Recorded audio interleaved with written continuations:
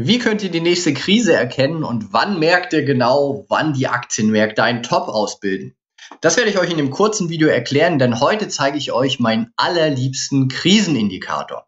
Und was ihr auf diesem wunderschönen Chart seht, sind zwei Dinge. Ihr seht in Rot einmal den S&P 500 seit 1998, der in dieser Zeit über 178 Prozent gewonnen hat. Und ihr seht in dem Candlestick-Chart hier unten dargestellt die zweijährige Rendite für US-amerikanische Anleihen.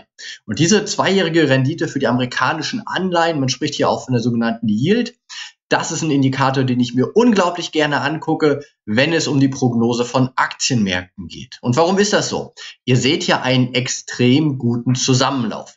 Ihr seht, 98 ist der S&P stark gefallen und auch die zweijährigen Renditen in den USA sind runtergegangen. Dann bis 2000 Zweijährige Renditen steigen an und auch der S&P geht hoch. Hier haben wir einen Top in den Aktienmärkten, während die Renditen gleichzeitig schon fallen. Und ihr seht auch hier wieder, der S&P hat tatsächlich verloren.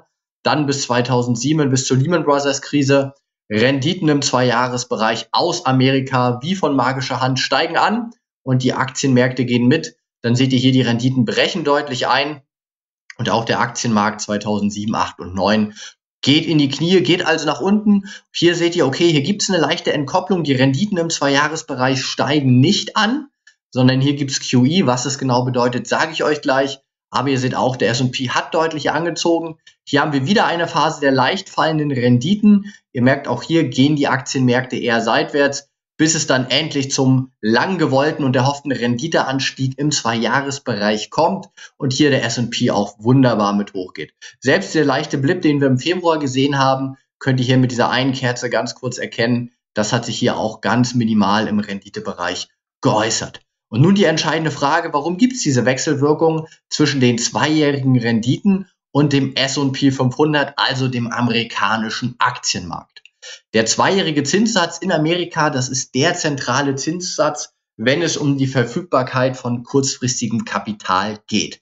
Und wenn man den normalen Volkswirtschaftsbüchern glauben darf, dann ist der Zinssatz nichts weiter als eine Frage für den Preis der Kapitalbeschaffung. Bedeutet also, wenn die Zinsen hoch sind, ist Kapital per se teurer für Unternehmen und es müsste eigentlich so sein, dass wenn die Zinsen steigen, entsprechend Unternehmensgewinne nicht so sprudeln und damit Aktien als Vorlauf für die Wirtschaft eher auch runtergehen. So war das auch bis in die 2000er der Fall, wo man normal davon ausgehen konnte, dass der Konjunkturzyklus sich relativ gut mit dem Zinszyklus gedeckt hat.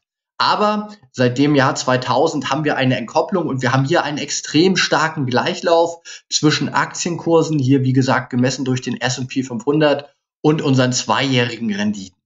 Und ganz wichtig, diese zweijährigen Renditen ist nicht die sogenannte Fed Fund Rate, also ist nicht der Zinssatz, der tatsächlich durch die FED entsprechend gemacht wird. Also die FED tagt ja auch wieder am Mittwoch, wird da entsprechend die Zinsen dann auch erhöhen und dann wahrscheinlich im Dezember wieder. Aber das hier im Zweijahresbereich ist nicht der Zinssatz, der durch die FED gemacht wird, sondern das ist ein Zinssatz, der sich natürlich sehr eng an dieser Fed Fund Rate orientiert, aber der auf zweijährige Laufzeiten im Anleihenbereich gehandelt wird und damit entsprechend schon durch den Kapitalmarkt bestimmt wird.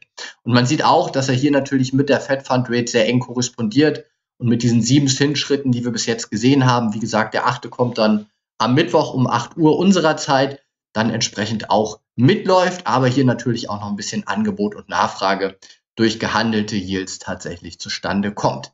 Ja, und warum gab es hier diese große Entkopplung? Was bedeutet jetzt überhaupt QI? Das bedeutet quantitatives Easing und das heißt nichts weiter, als dass die Geldbasis von 2008 gelockert wurde. Hier, wie gesagt, in Amerika. 2008 hatten wir im Dezember den letzten Zinsschritt. Der ging natürlich nach unten. Das sieht man hier an dieser Kurve auch sehr schön. Die Fed hat wie alle anderen Zentralbanken global auch den Zinssatz massiv gesenkt, um eben hier dieses Aktienfiasko damals ausgelöst, ausgelöst durch die Lehman Brothers Krise zu stoppen. Und sie hat eben erkannt, dass ein Zinssatz von damals nur 25 Basispunkten gar nicht ausreicht, um den Markt zu beruhigen. Und deswegen wurde im Dezember, wie gesagt, der letzte Zinsschritt verabschiedet, aber gleichzeitig wurde 2008 dieses quantitative Easing eingeführt. Es wurde also die Geldbasis weiter ausgeweitet und es wurden langlaufende Anleihen gekauft. QE1 damals, also das erste quantitative Easing, bezog sich auf sogenannte Mortgage-Backed Securities, also auf Anleihen, die aus dem Immobiliensektor kommen. Und man hat dieses Programm dann immer wieder weitergeführt. Also QE1 war von 2008 bis 2010. Dann gab es später QE2, das war von 2010 bis 2011. Dann gab es den sogenannten Operation Twist, das war auch in 2011 am Ende. Da hat man einfach erkannt, es reicht nicht mehr aus, nur die kurzfristigen Zinsen nahe Null zu haben, sondern man möchte auch die langfristigen Zinsen tief haben. Das ist ja das, was die Japaner nach wie vor noch machen. Und man hat sich dann noch dazu entschieden, als es immer noch nicht so richtig mit dem Wachstum nach oben ging, als die Arbeitslosigkeit immer noch relativ gemessen hoch war, 2012 bis 2014 hier quantitatives Easing 3 zu machen. Also der letzte Schritt um eben entsprechend auch die langen Zinsen nach unten zu drücken. Das hat dann auch ganz gut geklappt. Wir haben in Amerika natürlich hier nicht nur die Hosse am Aktienmarkt gesehen, sondern wir haben auch eine relativ gute Arbeitslosigkeit, die sehr stark gefallen ist. Wir haben ein relativ stabiles Wachstum und deswegen gibt es eben auch diese Zinsschritte von der amerikanischen Zentralbank, die natürlich auch damit wieder Puffer aufbaut für die nächste große Rezession, wo sie dann die Zinsen auch wieder senken kann. Wie gesagt, QE ging in Amerika 2008 los. Zum Vergleich, Europa hat damit erst 2015 angefangen, ist also hier wieder ein ganzes Stück hinter der Kurve, also sieben, Jahre später.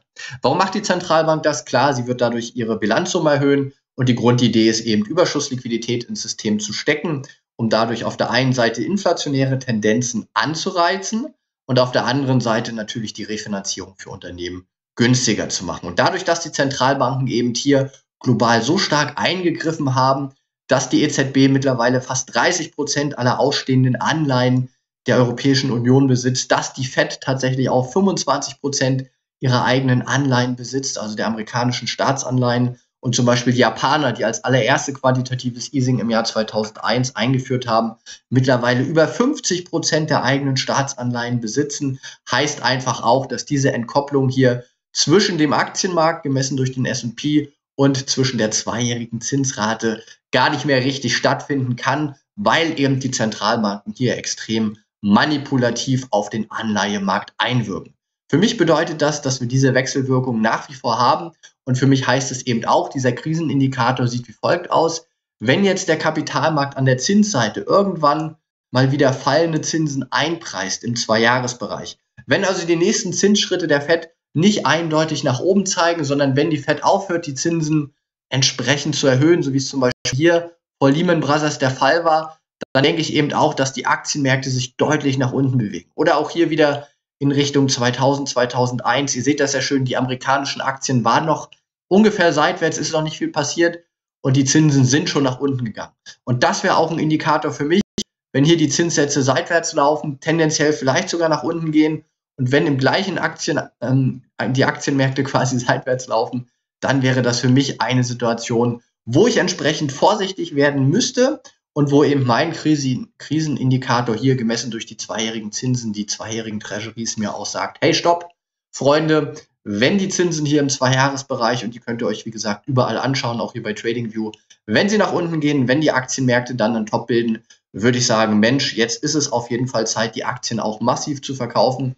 Jetzt könnte der nächste große Rutsch am Aktienmarkt auch kommen, wie 2007, 2008, wie 2001, 2 und 3, wie aber auch hier mit der Asienkrise 98. Das ist noch nicht der Fall. Ihr seht es ja schön, die Anleihen steigen, beziehungsweise die Renditen der Anleihen steigen an, die Anleihenkurse fallen äquivalent. Aber wie gesagt, sobald wir hier mal einen Top ausbilden, sobald die Fantasie aus der Fed rausgeht, würde ich sagen, dann wird es wahrscheinlich auch einen Top bei Aktien geben, was ich tendenziell eher verkaufen würde weil das ist einer meiner liebsten Krisenindikatoren, die ich mir, wie gesagt, sehr gerne angucke, die momentan eine sehr große Wechselwirkung haben mit dem ganzen Thema Aktien. Also guckt euch hier die Rentenmärkte an im Zweijahresbereich, wenn die zweijährigen Zinsen seitwärts laufen oder tendenziell sogar zurückgehen, weil eben die Fed einfach nicht mehr eingepreist ist am Markt.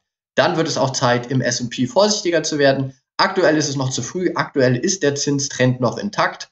Aber wie gesagt, wenn am Mittwoch Jerome Powell vorsichtiger werden wird in seinem Statement, wenn die nächsten Monate und Jahre eventuell die Fett ein bisschen langsamer im Hiking-Zyklus ist, dann ist es für mich definitiv ein Warnsignal, dass die Hosse hier heiß gelaufen ist. Und dann sage ich Vorsicht mit den Aktienrisiken, weil dann zeigt uns dieser Indikator der zweijährigen Zinsen ganz klar an, dass eben das Größte hier vorbei ist. Und wenn die Zinsen sinken, dann denke ich, wie die letzten 20 Jahre auch, wird entsprechend der Aktienmarkt auch leiden und irgendwann dann entsprechend überkippen. Wenn euch das Video gefallen hat, wie immer, abonniert mich, gebt mir gerne einen Daumen nach oben, nutzt die Informationen und seid bitte erfolgreich an den Märkten. Hier aus Frankfurt, euer André.